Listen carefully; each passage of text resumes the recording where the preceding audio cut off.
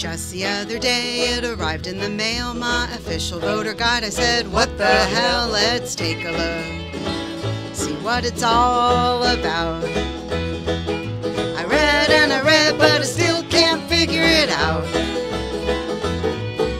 Started with the first one, Proposition 1. It's not in the same guide as the rest of them, it's supplemental.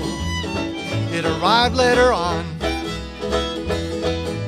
That's why I took a bit longer to write this song.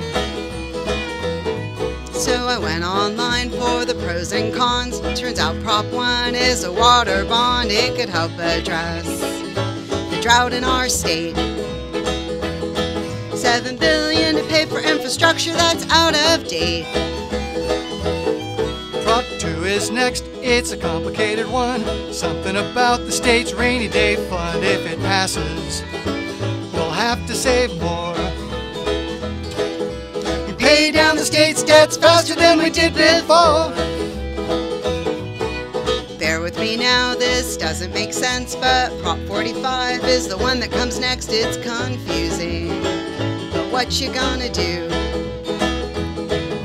I'll vote, but still have the California proposition blues. The insurance commissioner wants more control. Health insurance companies, they say no, it's a voter. It's up to you to choose.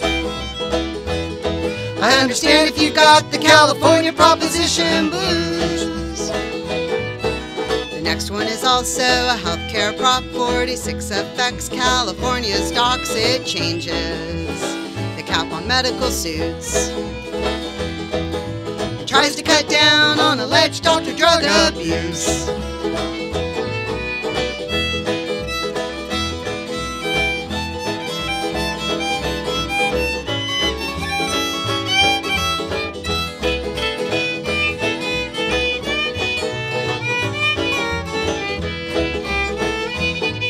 Forty-seven is next, and it deals with crime. Should non-violent offenders do less time? Supporters say, yes because